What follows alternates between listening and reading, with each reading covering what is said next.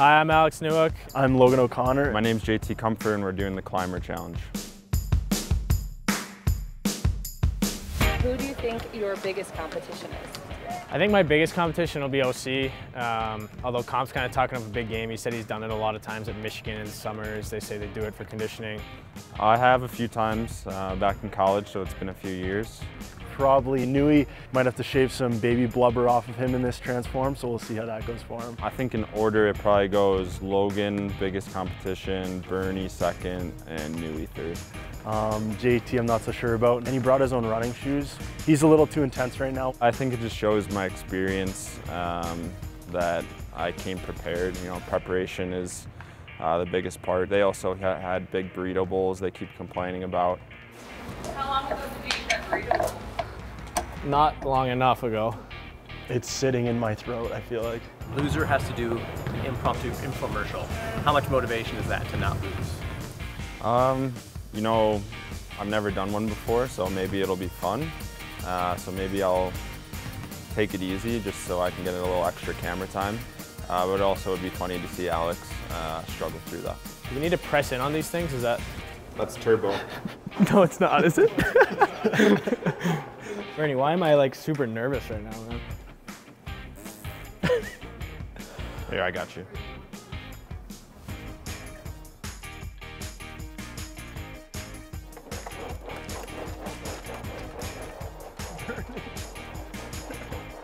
Bernie, you got him. He's gonna die soon. My God, knew he's going fast. Wow, Nui got 170. Good job, brother. Burrito. Yeah, whoa. Yeah, I think I'm gonna go short and choppy. These guys don't know what they're doing. yeah, I think you do short and choppy. They're talking to each other. I couldn't talk to Bernie. Bernie wouldn't give me anything.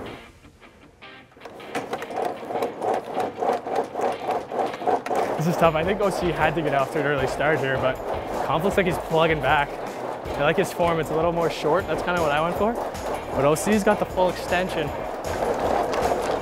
Oh, that was hard. Tough, eh? 159. Okay. Nui. So I put number one there. I knew. No. What? Oh, Tough, man. a lot harder than I thought. Yeah. I am hot. Thanks. Short and choppy was not the move. Yeah, winner. I'm not staying around for this. One, two, three. I'm Bernie. You win uh, the infomercial. Extra screen time. This is true. Congratulations, bud. This is true. I'm breathing kind of heavy.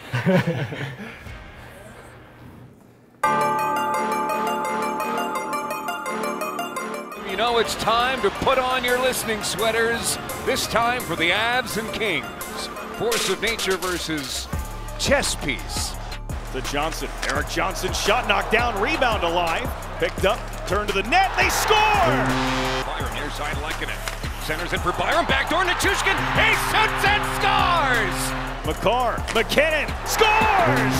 There's another shot, and they score! Nicholas Obe Kubel! The LA Kings are drinking from a fountain that's pouring like an avalanche that's coming down the mountain. MacKinnon on a breakaway, he's in, he shoots and scores! MacKinnon is a magician! Nichushkin driving, Nichushkin scores! Lazat in his communication, Burakovsky behind the net, out in front, MacKinnon, he shoots and scores! Throw the chapeau! Nathan MacKinnon, his fourth career regular season hat trick. It's one for the record books. This Avalanche team has done something that no team in franchise history before them has done. Won 53 games in a season, 29 of them on home ice. Nicholas, what would have been like if you got a hat trick and there weren't any hats left? Yeah, that's what I thought. So I didn't want to score. No more, no more hats left. Yeah, it would have been cool though. I'll, I'll keep it for another time.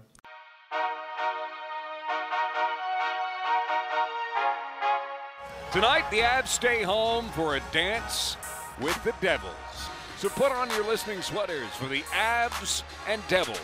Force of Nature versus Fiddle Contestants.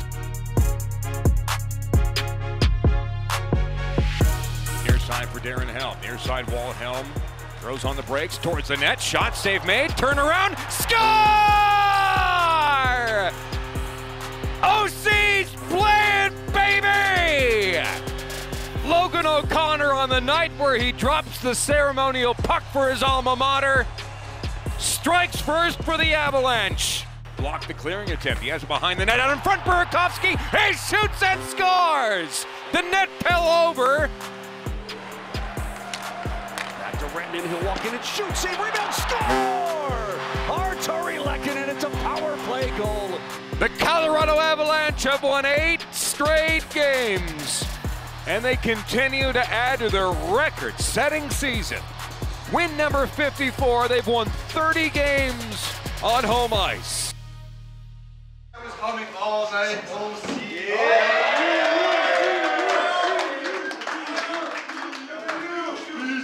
game. Let's keep it rolling here.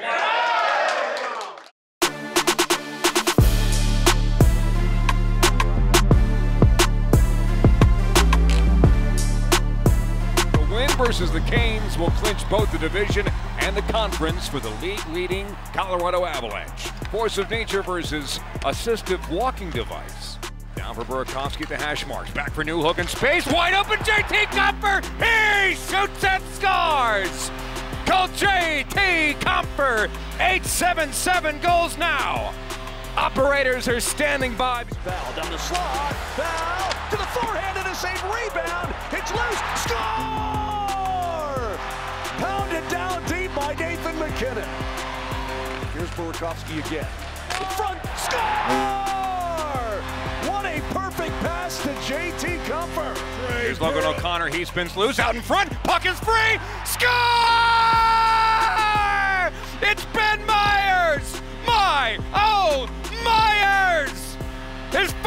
NHL goal in his first NHL game. Here's looking at you, kid. What a night! Big Kubel to himself. Centers it off. Newhook down the slot. Got hooked. Score! Alex Newhook stays with the play. Chase as does MacKinnon. Elijah Pesky from backhand. Score!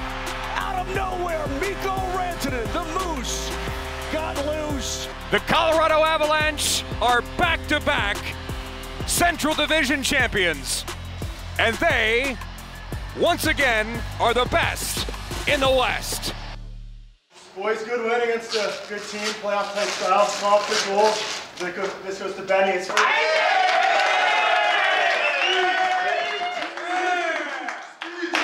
Right, boys. All the time. Uh,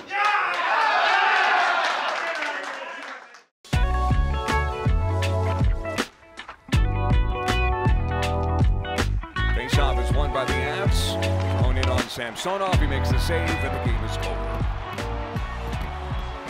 Final score from Ball Arena downtown Denver. Capitals 3 and the Avalanche 2.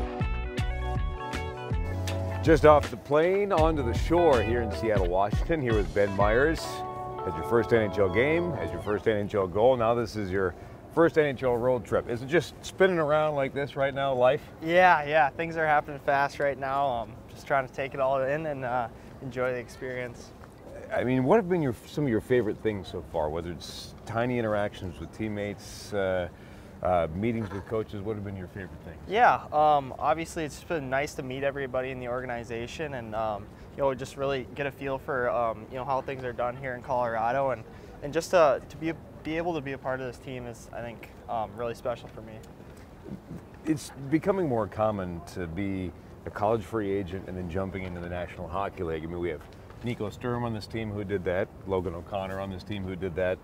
What have your conversations with them been like about your experience going right from college right into the NHL? Yeah, um, I mean, we haven't had a ton of talks yet. Um, they've kind of been curious, uh, more curious about what it's like for me, I guess, because they went through the experience a couple years ago. But um, you know, those guys have been great. I've been asking them questions all week on, you know, just tips going into games and stuff. So um, yeah, they've been great for me. Obviously, this team is Stanley Cup favorites at this point. You have some immense talent, but you fit right in beautifully, I think. who's been your favorite player to, to, to just watch so far? Yeah. Um, I mean, They're not going to know. yeah. I, I mean, I would say Nathan MacKinnon. Yeah. I mean, he's he's special. So Yeah. I think we all know that. So he's he's fun to watch. Now, when you you go from college and look, you're you're in a big tournament, right? I mean, University of Minnesota, you're the captain of University of Minnesota, and then you go to the Frozen Four. I mean, are you the type of guy that feels pressure because all three of those things? There's some massive pressure on your shoulders there. Do you feel that at all? Yeah. Um, no, I think you definitely feel the pressure as um, the season um, kind of winds down and, and games mean more. But um, you know, I think you know you just got to find a, a place in your game and, and have that bring out the best in you. I think that's the only way you can handle that. Would you go so far as to say that you almost like the pressure? Yeah. In some ways, yeah. It's not hard to get up for a big game. So yeah. Talking with Jared Bednar, what has he said that your place is on this team now? Unfortunately, you can't be a part of the Stanley Cup playoffs, but then now Joe Sakic as well, and into the future. Yeah, no, I think he just um, wants me to get some experience right now, and um, you know, he's kind of just said, you know, learn from the guys in the room and, and just play hard, and um, you know, kind of just keep uh, keep keep working hard and keep trying to learn. Are you as surprised as I am to see the, the sun in Seattle, Washington? We've heard stories about yeah, this. um, you know, I, I've heard it rains a lot here, but this is my first time here, and you know, I don't think uh, I don't think this is what I was picturing. So. So I can't let you go. I mean, a first NHL goal and a first NHL shot is something that Cale Makar did, Mario Lemieux did, and you did.